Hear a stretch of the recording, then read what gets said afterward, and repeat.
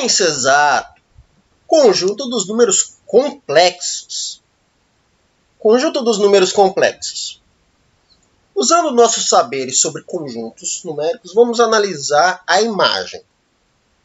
Olha, aqui nós temos uma imagem onde no rosa nós temos o conjunto dos números naturais, no verdinho nós temos o conjunto dos números inteiros, representado pela letra Z.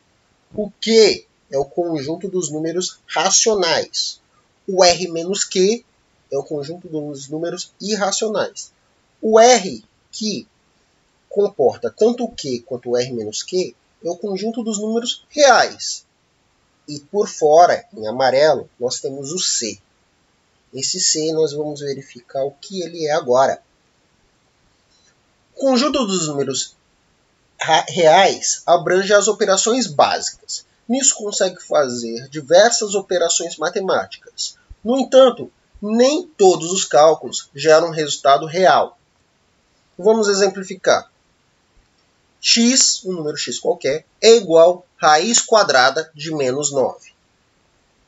Elevando ao quadrado em ambos os lados, para tirar o valor da raiz, temos que x ao quadrado é igual a menos 9.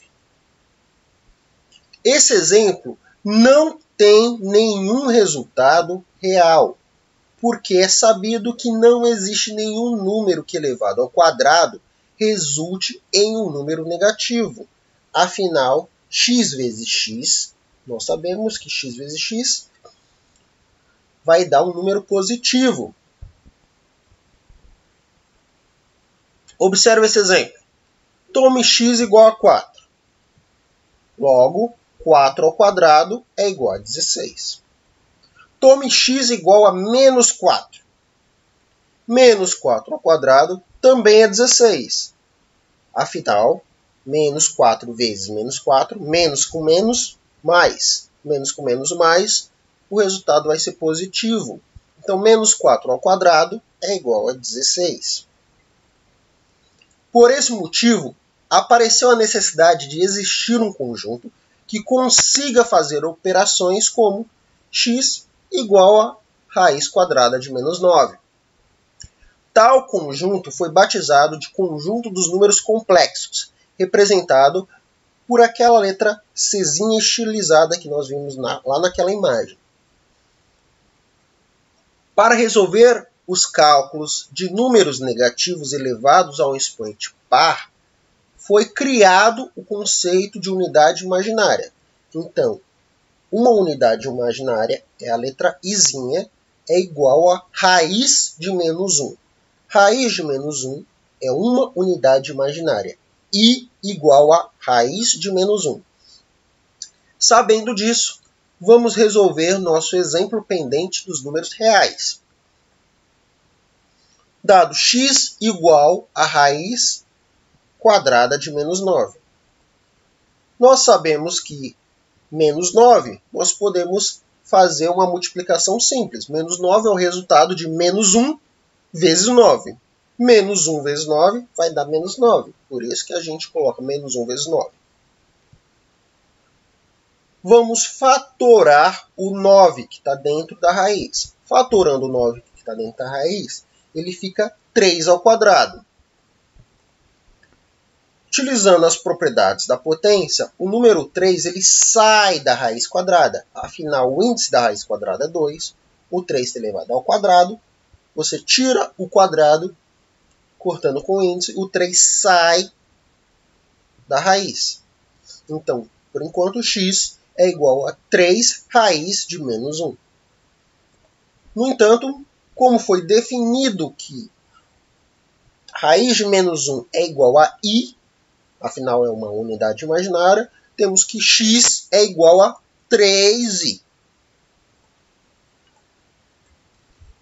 No início dessa videoaula, vimos que os reais estão contidos nos complexos. Isso pode ser observado pela forma algébrica dos números complexos. Olha só, a fórmula algébrica dos números complexos é essa. Um número x qualquer pode ser escrito em formato complexo através do A mais BI, sendo que A e b são dois números pertencentes aos números reais e o i é a nossa unidade imaginária. Sendo que a é a parte real, b é a parte imaginária. Portanto, quando b é igual a zero, temos um resultado real. Assim, percebemos que os números reais estão contidos dentro dos números complexos. E quando o A é igual a zero, temos um resultado imaginário puro. Os números reais estão dentro dos números complexos, pois os números complexos são escritos através da forma x, número qualquer x, é igual a A mais BI. O A é a parte real, BI é a parte imaginária. Se o B for igual a zero, fica zero vezes raiz de menos 1. Todo número vezes zero é zero, então ficará apenas a parte real, fica x igual a A. Então, os números reais estão dentro dos números complexos.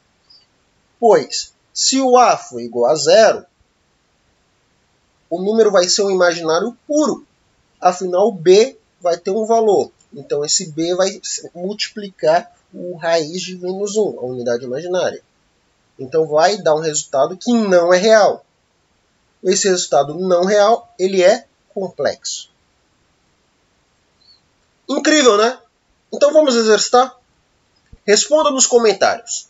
Um número real somado com um número complexo gerará um número real, complexo racional ou irracional. Aqui encerra essa aula. Qualquer dúvida, pergunte. Estou aqui para ajudá-lo. Pense exato.